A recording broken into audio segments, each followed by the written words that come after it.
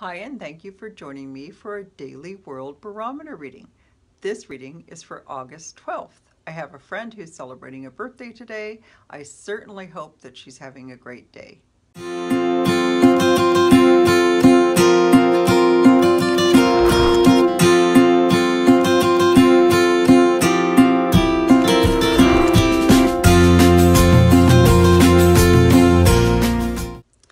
Today's energy is the Ten of Cups, and it's really important for us to make sure that we are careful with our friendships today, that we um, are careful about how we say things, about um, expectations, just about everything about friendships today is precarious. So please use lots of roses and grounding and other um, tools that you use to keep your energy protected and then be careful about saying things that could be hurtful and make sure you apologize if you've done something.